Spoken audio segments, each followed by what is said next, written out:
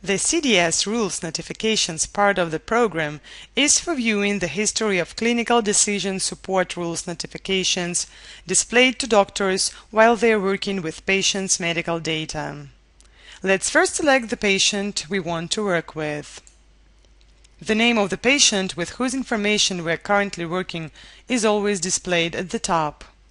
To view the list of CDS rules notifications, click the CDS rules notifications item in the audit block on the left, or select the CDS rules notifications from the patients drop-down list at the top.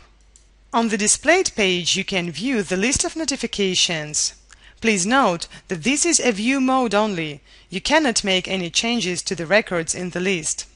Each notification record consists of the date when the notification appeared, type of notification, doctor who has seen this notification alert, and flag, meaning whether the doctor has fulfilled the suggested recommendation. Click the Search button to unfold the Filter panel. Filter panel will help you search for the notification records you need by certain parameters. Just select the parameter you want and click the Find button.